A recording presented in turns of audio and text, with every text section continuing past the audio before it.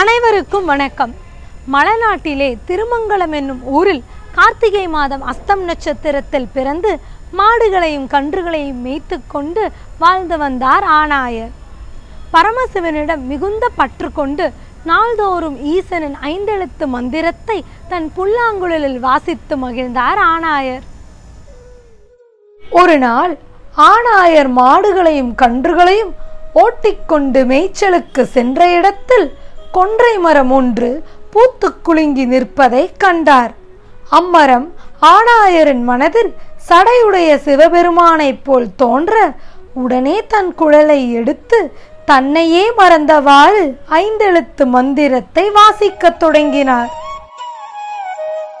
குழலில் இருந்து எழுந்த இனிய இறைவனின் திருமந்திர இசை நாற்புறமும் உள்ள உயிரினங்களின் செவிகளை வண்டுகளின் ரிங்காரம் போன்று புகுந்தது.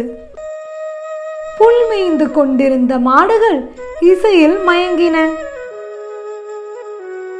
துள்ளி குதித்துக் கொண்டிருந்த கன்றுக்குட்டிகள் தன் ஓட்டத்தை நிறுத்தி ஆணாயரை நோக்கி நின்றன. அருகில் உள்ள சோலையிலிருந்து மயிலும் கிழியும் பறந்து வந்தன. புதர்களில் பதுங்கியிருந்த நரி ஓனாய் சிறுத்தை முதலிய காட்டு விலங்குகள் நாத ஒளியை கேட்டு அங்கே வந்து சேர்ந்தன. புற்றுகளில் இருந்த பாம்புகள் இசைக்கு மயங்கி படமெடுத்து ஆடியது. அனைத்து விலங்குகளும் இசை மழையில் மயங்கி தன் விரோதங்களை மறந்தபடி அருகருகே நின்றன. ஆணாயரின் இசையை கேட்டு விண்ணவர்களும் மகிழ்ச்சி பொங்க வந்து கூடினர். மண்ணையும் விண்ணையும் அடைந்த இசையை கேட்டு எம்பெருமானும் தேவியுடன் வந்து இறங்கினார் சிவபெருமானை கண்ட ஆணாயரின் உள்ளம் மகிழ்ச்சி பெருங்கடலால் நிறைந்தது.